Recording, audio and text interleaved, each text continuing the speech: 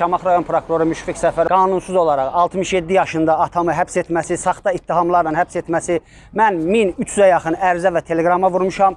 Hal-hazırda ərizə və teleqramlarıma heç bir cavab verilmir. Mən bu gün bura gəlməkdə cənab baş prokurorumuz Kamran Əliyevin qəbuluna düşmək və səsimi cənab prezidentimizə çatdırmaq istəyirəm. Deməli məsələ bundan ibarətdir ki, sa saxta ittihamla 2020 görün nə qədər gülməli və gülünc ittihamdır. 2021-ci ilin may ayının 26-cı günü 67 yaşında atamı həbs eləyib ki, sən 2017-ci ilin, baxın ha, 2017-ci ildə arpa əkmisən. Baş prokurorluq qarşısında təkadamlıq aksiya edərək öz siyasi fəaliyyətinə görə 67 yaşlı atasının şərlənərək həbs edildiyini bildirən Kazım Cəbrayılov haqqında yeni faktlar ortaya çıxıb. Belə ki, kanalımıza müraciət edən Şamaxı rayon Quşçu kənd sakinləri bildirirlər ki, Kazım Cəbrayılovun atası sifarişlə deyil, məhz onların şikayəti əsasında həbs edilib. Vətəndaşların sözlərinə görə Kazım Cəbrayılovun atası Mikail Cəbrayılov onların torpaq sahələrində qanunsuz əkin biçinlə məşğul olub. Buna görə kənd cəmaəti həmin şəxsdən şikayətçi olub. Sakinlər həmçinin iddia edir ki, Kazım və Mikail Cəbrayılovların haqsızlıqları bununla da bitmir. Şantaj, hədə-qorxu və sair kimi əməllərə də əl atırlar.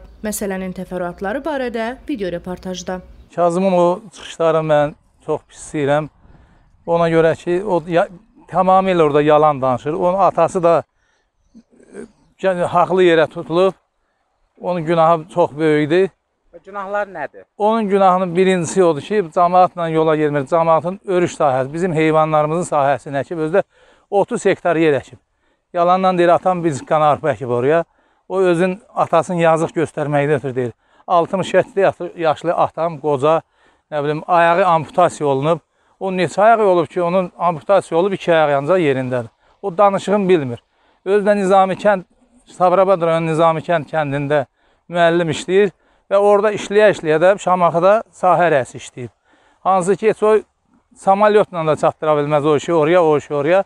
Və bugünkü gündə də Sabrabad rayonunun təhsil şöbəsinə də mən bu bir sual kimi göndərirəm ki, nətər o müəllimlik eləyir orada, nətər o məktəbdə ictimai işlərdə xidmət eləyir ki, işi gücü Bakı şəhərində demagogluqda keçir.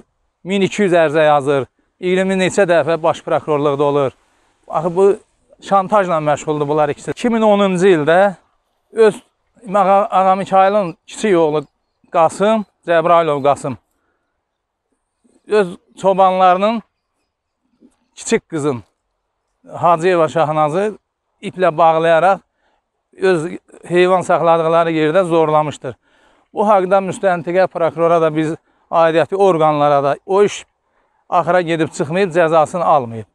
O zorlama işi bağlı da qalıb o formada kimlərinsə xatiri ilə. Və 2010-cu ilin iyun ayının 19-u günü mən öz qardaşım Zülfüqarov Şirvanını həmin Ağa Mikail kimyəvi zəhərlə onu Xarkovda yoxlatdırıb özüm gətizdirmişəm. Onun bir kopyası da məndədir. Mənim qardaşımı Atayev üstündə həmin Ağa Mikail zəhərləyib öldürüb. Mən 10 uşaq atasıyam. Özüm də oğlum da qazidir. Fəxr edirəm də oğlumun qazi olmağı ilə də. Mən özüm də fərdi fiziki işlə, e, kənd işi ilə, əkinlə, biçinlə məşğul olan adamam. Yəni çox gəlir sahədə də işləmirəm. Ağa Mikail mən şəxsən bugünkü gündə də mən işim məhkəmədədir. Məni məhkəməyə verib ki, 100 min manat həmin o Kazımla əksi məndən təzminat tələb edir. Bunu məndən ağarmışam ki, məndən təzminat tələb edir. Mən haqqı sübut edirəm, haqqı davasını edirəm. Özdə bu şikayətləri yəni bir susub qalmışdım, ancaq son vaxtlar Allah kömək olsun prezidentimizin də, bu ali bu rayonun hüquq işçilərinin də Allah köməkləri olsun ki, bu işlərə ciddi yanaşıblar. Mir Mövsüm Meynalov, Şamaxı rayon Məlicəkən sakini, 2-ci Qarabağ qazisiyəm. Bu günlərim bu adı çəkilən Ağa Mikail və onun oğlu Kazım haqqında olan məlumatlarla bağlı mən də bir Şamaxı vətəndaşı olaraq, Şamaxı qazisi olaraq bu araşdırmalar nəticəsində bu Kazımın e, burada Kazım bildirir ki 1200 ədəd, 1200 ədəd məktub yazmışam. Bizim bir ilimizdə 365 gün var. Bir ilimizdə. Deməli bu 3 ildir bu adam məktub yazmaqla bağlıdır.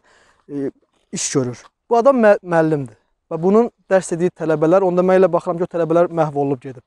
Və bu adam e, saxta diplomla müəllim işləyir. Ondan öncə e, Real TV-nin yəni haqqında sizə bir dəqiq məlumat göstərim. Baxın. Yəni bax burada görünür. Bu adam özü Real TV-nin müxbiridir. Reallıq. 2020-ci illər müxbiridir. Və baxın burada Təhsil Nazirliyi haqqında yazır. Azərbaycan Respublikasının prokurorluğu Təhsil Nazirliyinə daxil olmuş ərizələrdə faktlar araşdırılmışdır. Məlum olmuşdur ki, Azərbaycan Müəllimlər İnstitutunun Qazax filialında Cəbrayıl Kazımoğlu Ağamikail oğlu adlı tələbə oxumur. Bu, yəni saxta diplomla öz əmisi məktəb müdiri o- olduğu yerdə dərs deyir.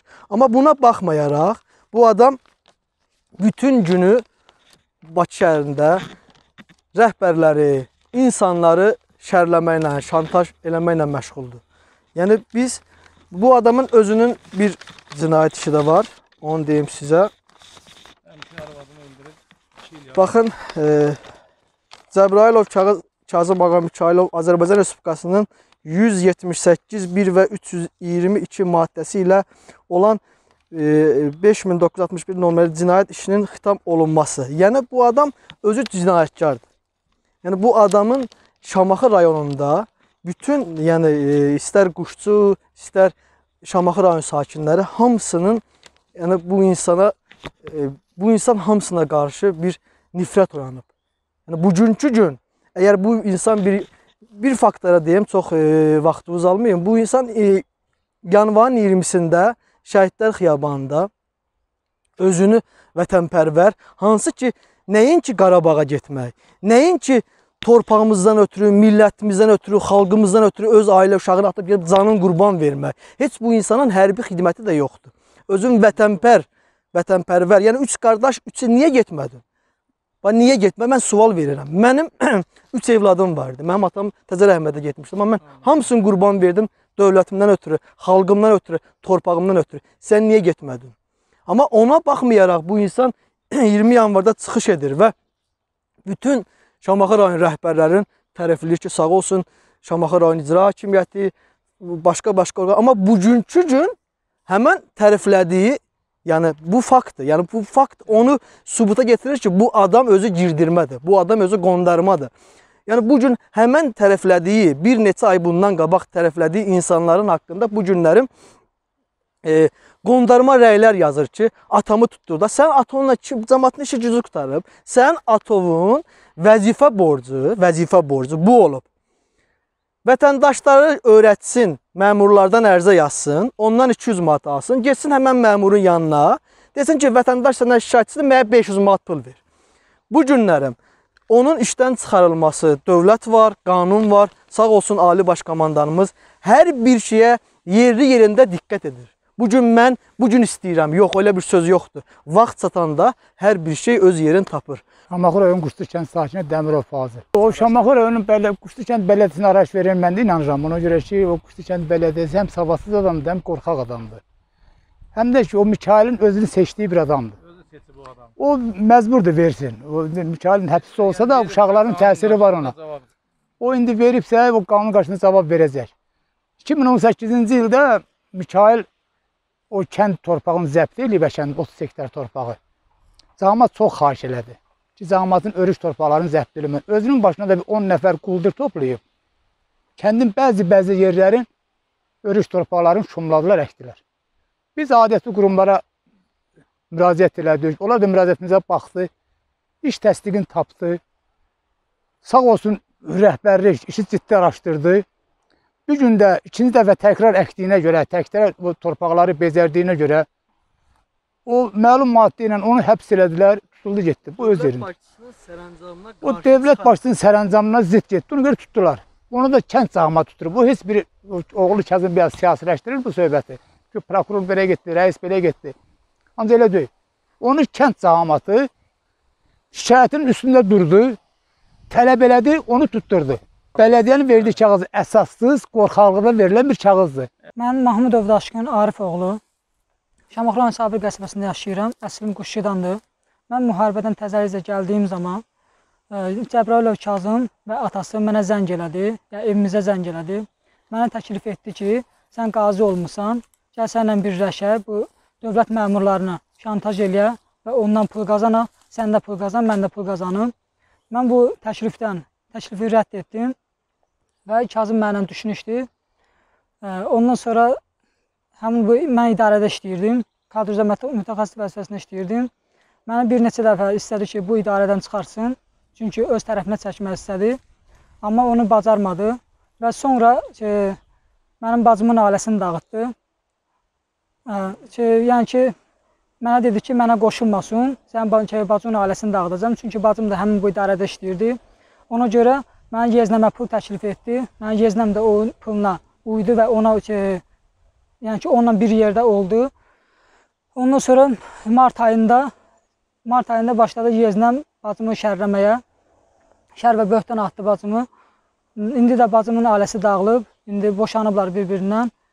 Və Kazım gördü ki, buna yenə nail ola bilmədi. Və yenə indi baş prokurorluğa və başqa yerlərə müraciət eləyir ki, həm məni işdən çıxarsın, həm də mən bəzi İndi hal-hazırda da yeznəmi öz Sabirabad rayonunda saxlayır. Onun orada heyvandarlıq yeri var, orada saxlayır və yeznəmdən istifadə eləyir.